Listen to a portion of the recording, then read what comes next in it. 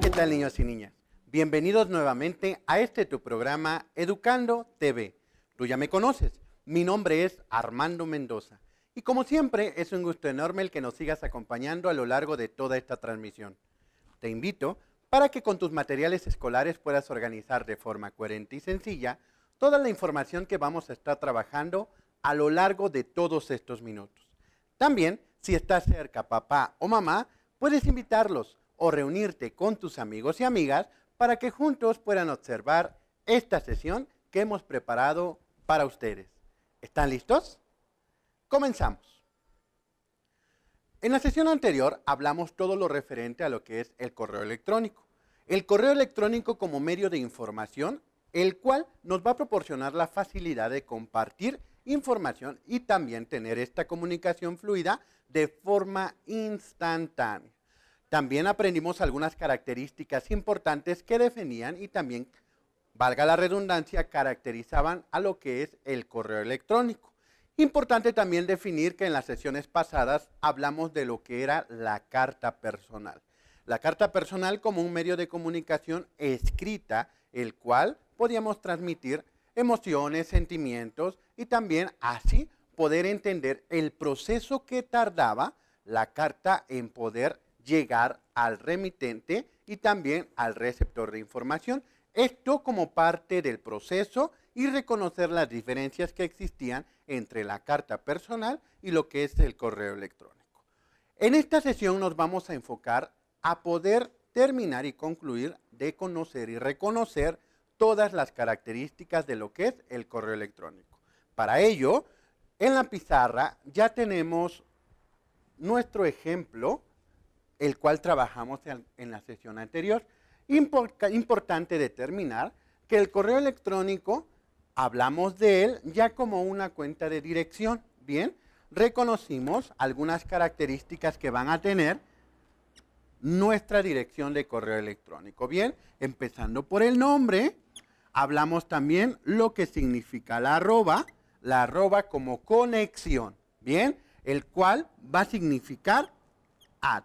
Bien, un significado en inglés, el cual también significa o hace la referencia en español como junto, junto,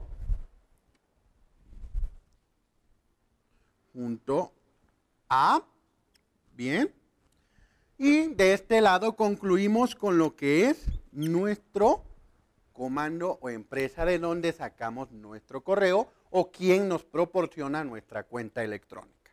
Es muy importante definir estas características porque esto te va a permitir reconocer el correo electrónico. Otra característica más que es importante identificar en esta sesión es que el correo electrónico también lo puedes encontrar o lo puedes utilizar de diferente forma. Algunos lo reconocen como email. Bien. Lo puedes nombrar como correo electrónico o como email. ¿Y qué significa email? Mucha atención. En inglés, esto significa electronic, bien, mail, correo electrónico, bien. Entonces, tú puedes reconocerlo como correo electrónico o como email. Cualquiera de las dos formas son referencias importantes y también las puedes reconocer en cualquier lugar y de forma convencional en, tu comunicación oral. Muy bien. Ahora, cuando ya nos referimos a lo que es nuestra ventanilla de correo electrónico, es importante definir y detectar algunas características que aún nos hacen falta ya reconocimos lo que es el destinatario del correo. ¿Recuerdas esta parte? ¿A quién va dirigido el correo? También hicimos referencia a la copia de carbón, bien, que va a ir dirigido no solamente al destinatario, sino va a tener una copia de carbón para una otra persona que también necesite la información. Y por último, tenemos lo que es la copia de carbón oculta. Bien, Son características que vimos en la sesión anterior y que simple y sencillamente las estamos recordando. Ahora, el asunto que es el tema, platicamos acerca del título, como vamos a nombrar al correo electrónico, que también es importante. Y en esta partecita que tenemos acá, que es este cuadro, es donde nosotros vamos a integrar toda la información que necesitamos compartir. Bien, importante esta parte porque vamos a hacer mención de que en esta parte de abajo tenemos una barra de muchos comandos. Bien, comandos me refiero a muchas, muchos iconos, los cuales nos van a servir para poder tener una mejor redacción y así nuestro correo electrónico o la información que queramos compartir sea de forma clara y precisa.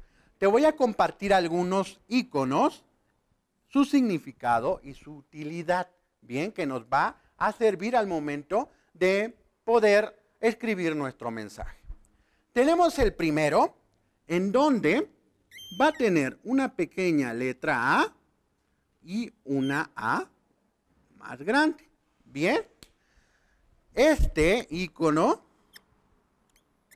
que tenemos acá, que es el primero, se refiere a lo siguiente. Mucha atención.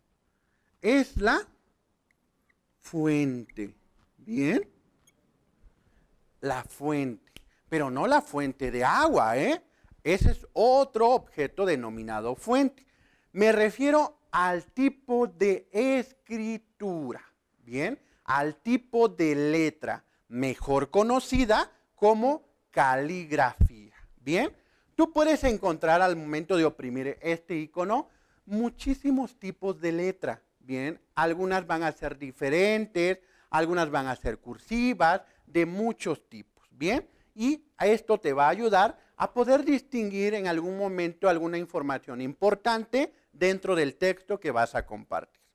Muy bien, vámonos con el siguiente. El siguiente es muy sencillo, porque es la misma letra A, pero va a tener simple y sencillamente un triángulo hacia abajo. ¿Y qué significa este icono? Mucha atención. Significa tamaño de fuente. Si ya reconocimos en, la, en el icono anterior que era la fuente, anexamos lo que es tamaño. Si necesitamos agregar el título un poquito más grande, bien, o necesitamos hacer una letra más pequeña. Cuando tú le oprimas el siguiente icono que va a ser el tamaño de fuente, te va a aparecer a partir del número 8 hasta el número 126. Bien, que va a ser la diferente o el diferente número de fuente que vas a encontrar para poder escribir tu texto. Muy bien. Ahora, vámonos con el siguiente icono. Vamos solamente a detectar los iconos más importantes que te van a servir para poder redactar tu, tu correo electrónico. Y el siguiente es una B como esta. Bien. Y este icono se nombra como negrita. Bien. Y se refiere a que va a ser un tipo de letra o un tipo de fuente, como ya lo conocemos, un poco más gruesa. Bien. Y que va a definir a que cuando tú la utilices estás resaltando dicha información.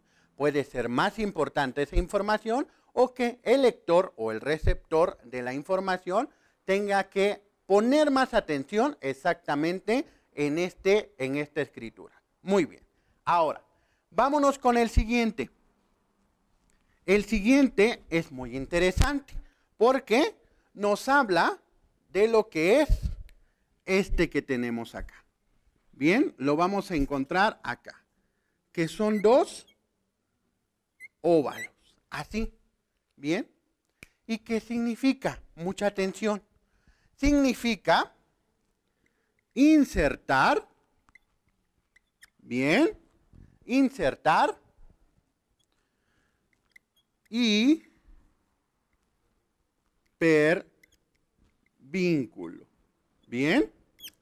Mucha atención con esta parte, porque te va a servir mucho cuando tú quieras hacer alguna tarea. ¿Bien? Cuando quieras insertar un hipervínculo, si tú le aprietas este icono que tenemos acá, que son dos, dos círculos muy pequeños, bien, dos óvalos muy pequeños, perdón, esto te va a mandar a lo que es algo que se llama, y que lo voy a poner de este lado, muy importante, bien, quiero que lo copies porque esto te va a servir, que es la URL. Te va a aparecer cuando le aprietes este icono, algo que va a decir URL y dos puntos, bien.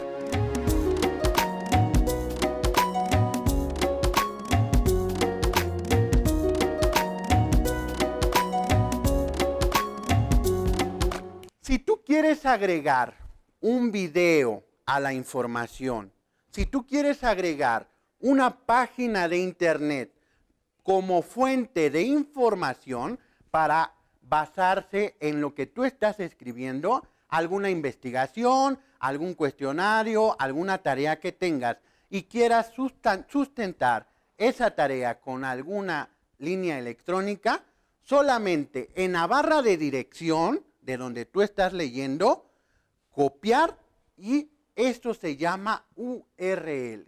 Lo vas a pegar como hipervínculo, ¿bien? Y eso va a hacer que la persona o el lector, el receptor del correo electrónico, solamente haga clic con el mouse e inmediatamente lo lance o lo transporte o lo comunique a dicha dirección electrónica. Para eso nos sirven los hipervínculos, niños y niñas. Recuerda, puedes agregar direcciones de videos, puedes agregar direcciones de páginas de internet para sustentar la información que estás compartiendo. Muy bien. Ahora, ya reconociendo algunos iconos que nos van a estar ayudando a poder redactar nuestro email o nuestro correo electrónico, es importante también ver la parte siguiente. En la parte de arriba y en la parte de abajo tenemos dos iconos iguales, que es adjuntar. ¿Bien? Adjuntar. Pero en la parte de abajo, simple y sencillamente, tenemos un pequeño clip. ¿Sale? Este es el icono que tenemos aquí abajo que aparece junto a descartar. Y aquí arriba tenemos el icono del clip con su título que es adjuntar. ¿Y para qué nos va a servir adjuntar, niños y niñas? Mucha atención. Si nosotros tenemos un documento ya escrito en algún programa de nuestra paquetería, llámese Office o llámese Word, que nosotros lo hayamos realizado, bien, y lo tengamos ya hecho, hablemos de una carta, hablemos de algún oficio, hablemos de cualquier documento que ya tengamos redactado, adjuntar nos va a servir para eso, para poder hacer que este archivo lo adjuntemos al correo electrónico sin necesidad de escribirlo acá. Simple y sencillamente, supongamos que este es nuestro correo electrónico, simple y sencillamente lo vamos a meter, a juntar y se va a ir con el mismo correo electrónico que nosotros estemos enviando a dicha dirección. Mucha atención porque adjuntar nos puede servir no solamente para poder enviar cartas, oficios, sino también vamos a poder adjuntar imágenes, ¿bien? O a veces, dependiendo la capacidad, mucha atención, podemos compartir hasta libros o revistas. Bien, es importante que tú puedas manejar o ir aprendiendo cuáles son los archivos o tipos de archivos que vamos a tener o que vamos a compartir. Te voy a proporcionar dos tipos de archivos. Bien, lo voy a poner acá. Tipos de archivos. Bien, para poder adjuntar. Le vamos a llamar a lo que son imágenes como JPG. Es una información extra que te va a servir porque cuando estés en secundaria, tú puedes llevar una materia o, si ya la llevas en lo que es primaria, computación o informática. Y JPG son el nombre que se le llama a las imágenes. Ahora, a los libros o archivos escritos se les va a conocer como, mucha atención, punto PDF. Bien, estos dos archivos, niños y niñas, te invito para que tú puedas realizar la investigación con mamá, papá, algún primo que sepa acerca de lo que es informática o computación. Pregúntale, ¿qué son los archivos JPG? ¿Qué son los archivos PDF? Y eso, estos dos tipos de archivos, tú los puedes adjuntar. Así como vas a poder adjuntar música o otros tipos de archivos. ¿Bien? También, no sin antes, algo muy, muy, yo sé que ya lo sabes, pero que es importante que sepas cómo son y cómo se llaman. Se llaman MP3. ¿Bien? Tú sabes qué son los MP3. Son archivos de música, ¿bien? Que también los puedes adjuntar a tu correo electrónico.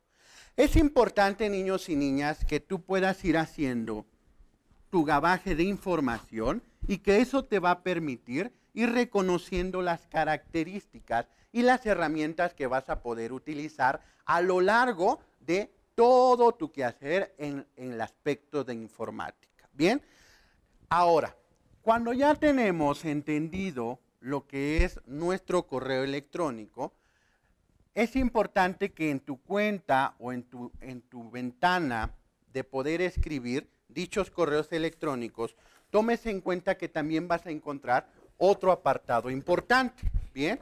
El cual lo vamos a pegar de este lado. Mucha atención.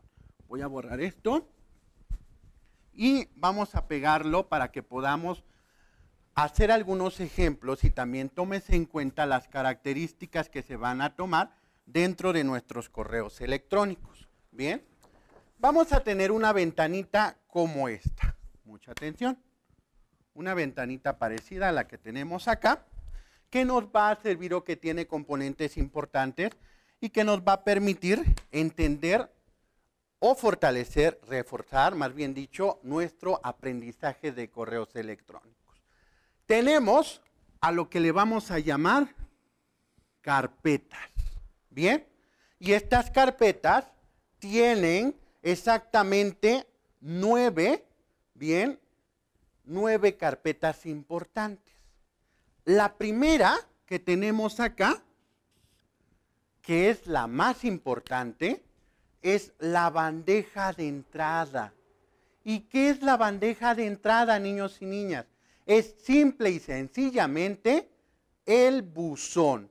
El buzón a donde te van a llegar todas y cada una, todos y cada uno de los, de los correos electrónicos que te van a enviar. Mucha atención, todos los correos electrónicos que te van a enviar. ¿Bien?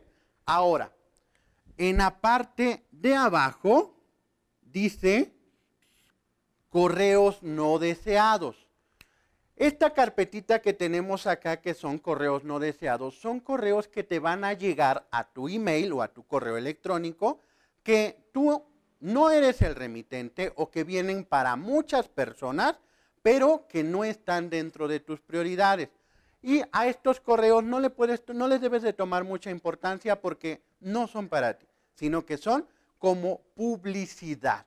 ¿Bien? Vámonos con el siguiente. Borradores. En borradores, ¿te acuerdas que aquí vimos lo que es descartar? Y aquí también abajo, descartar. Pues estos dos, cuando tú le aprietes descartar, simple y sencillamente se van a entrar a lo que es borradores. O cuando tú le aprietes estos tres puntos suspensivos, le puedes dar guardar correo y se van a ir a los borradores. Correos que no están terminados, correos que faltan por redactarse y que esta carpetita te va a ayudar a poder tenerlos ahí para cuando los necesites. Muy bien, ahora, elementos enviados son los correos que tú realizas como remitente y que tú los envías. Bien, elementos eliminados cuando tú eliminas algún correo que no te sirve o que no funciona, archivos, borradores, buzón de salida y enviados. Son las carpetas que te van a ayudar a poder organizar de mejor forma lo que es tu cuenta de correo electrónico. Y ahora sí, cuando ya tienes redactado tu correo, cuando hayas adjuntado el archivo que vas a enviar, sea JPG, sea PDF o sea MP3, cuando lo hayas adjuntado, ahora sí, lo vamos a, como último paso, a enviar. ¿Bien? Y cuando tú oprimas, ya sea aquí arriba o aquí abajo, enviar, simple y sencillamente tu correo se está enviando automáticamente y en el mismo instante le está llegando a la persona o a los destinatarios de dichos correos. Bien, importante esta parte porque es una comunicación muy interactiva, es una comunicación de forma rápida, la cual te va a permitir estar recibiendo información en el mismo instante, pero también tú vas a poder dar respuesta en el mismo instante. Es por ello que podemos hacer la diferencia en lo que es la carta personal y el correo electrónico como, unos como un proceso diferente en cada, una de los, en cada uno de los formatos. La carta personal lleva un proceso de tiempo porque tiene que hacer un viaje para poder llegar al destinatario. El correo como medio electrónico llega al instante en el momento en que lo estás enviando. Pero los dos, niños y niñas, son fuentes de información y también son comunicaciones que nos van a ayudar a poder compartir lo que nosotros queramos. Mucha atención. Y como último, tenemos algo que conocemos como redes sociales. ¿Bien? ¿Qué son las redes sociales? Son medios de comunicación también de forma instantánea. Bien, tú conoces todas las cuentas de redes sociales y estoy seguro que también tienes redes sociales. Háblese de cualquier tipo. Son medios de comunicación donde tú escribes mensajes muy cortos, muy, muy cortos, de pocas palabras, y que las estás enviando al instante y que el receptor estando en línea, también los está recibiendo. En las redes sociales puedes compartir imágenes, puedes compartir videos, puedes compartir GIF. Los GIFs son pedazos muy cortos de videos que se reproducen muy continuamente. Bien, y también vas a compartir música o lo que tú quieras de forma instantánea. Estas redes sociales son aplicaciones, aplicaciones web que son o que te facilitan a ti la comunicación hoy en día y que juegan un papel fundamental en nuestra comunicación en todas partes. Muy bien, niños y niñas, hemos reconocido tres formas de comunicarnos. Lo que es nuestra carta, bien, lo que es nuestro correo electrónico y por último, lo que son nuestras redes sociales a partir de aplicaciones web donde vamos a estar interconectados. Así es, niños y niñas, como en esta sesión hemos aprendido todo lo referente a los medios de comunicación, desde lo que es una carta hasta lo que son aplicaciones web como las redes sociales. Te recuerdo, el uso de las redes sociales es sumamente importante. Debes de hacerlo con mucha responsabilidad porque el mensaje que estás enviando lo está viendo todo el mundo. Mucho cuidado. Mi nombre es Armando Mendoza. Adiós.